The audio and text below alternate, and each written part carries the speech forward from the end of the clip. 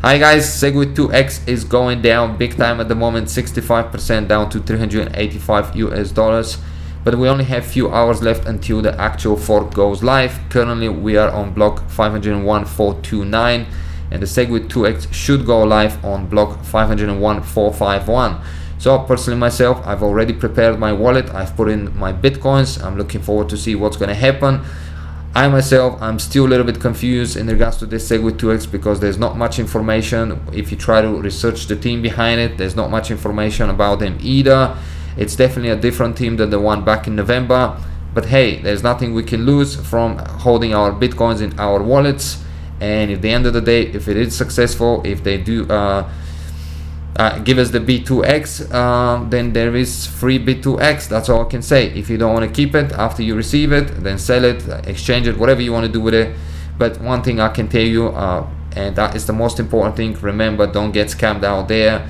Never give your private keys, control your uh, phrases yourself, and as well as don't rush in to spend your B2X if you get any or your Bitcoin simply because currently I don't know too much about the replay protection and I myself gonna hold on for a while until I am sure that if I decide to send any of my bitcoins if I get any of those B2X uh, free before I send them anywhere I want to make sure that replay protection is in, place. So let's play the video that they've just posted. I don't know what to make out of it. It is a bit of an interesting video simply because there's a bit of fun uh, uh in it and I feel like this is a bit more like serious matter but and it's an enjoyable video to watch.